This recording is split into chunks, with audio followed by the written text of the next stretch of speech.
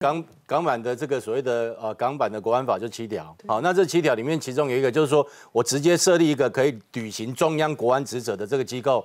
我们过去看到反送中哦，很多的这个我们还要猜说，哎，这个这个看起来像香港警察还是解放军伪装的？对，哦，过去我们还要这样讲，哎，那有可能是伪伪这个武警啊或解放军伪装成香港警察，嗯，现在不用了啦，现在连伪装都不用，我直接包括包括我们知道。过去中联办他再怎么样哦，他至少要守住那种哎，我不要妨碍港人自治啊哈。他虽然大家都知道说你就是这个北京安插在香港一个老大老大机关嘛，可是以后中联办他毫不需要掩饰，我就直接哈，我就化身一变，变成是中央授权我在这边履行国安职责的这个地的这个机关。好，那履行国安职责以后谁敢这个上街头，为了国家安全，解放军可不可以来？解放军可不可以直接上街头？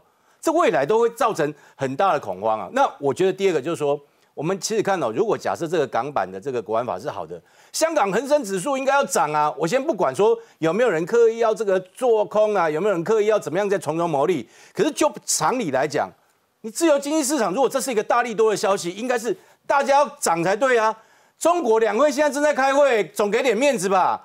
两会召开不是代表说中央政权的稳固吗？结果呢？香港恒生指数应声大跌，那表示大家对你没信心嘛？而且大家知道，香港是整个中国里面最国际化的地方哦。如果香港恒生指数大跌，那代表什么？国际社会对你有信心吗？第二个，我认为大家不用那么悲观了啊！要不要去看说这个香港未来五十年怎么样？中共这个政权有没有办法继续撑五十年？我都很怀疑。你这么乐观？有没有办法继续撑五年？我都觉得有问题。嗯，我认为他们今天之所以会无孔不入，施出这么粗暴的手段。代表内部很危急的啦，他们内部的这个斗争，包括这次疫情这么严重，他们自己都讲啊，这这次如果各国都来索赔的话，那比庚子赔款还严重啊。过去庚子赔款人家是洋枪洋炮，你可以说这是不平等的。这次人家是被你中国的这个武汉病毒害成这个样子，大家来索赔哦，按照法理来跟你索赔。我觉得哈，中国现在内部的这个各种内外的交迫的压力非常之大。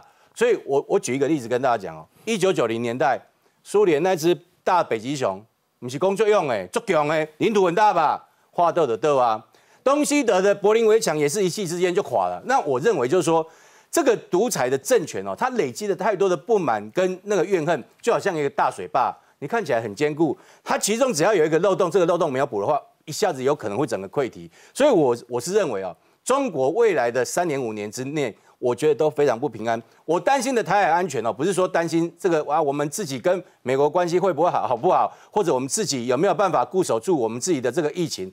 我反而是担心说，这三年五年之内，中国啊内部的纷乱会让他内政想要转外销，来影响到台海的安全，这才是我担心的。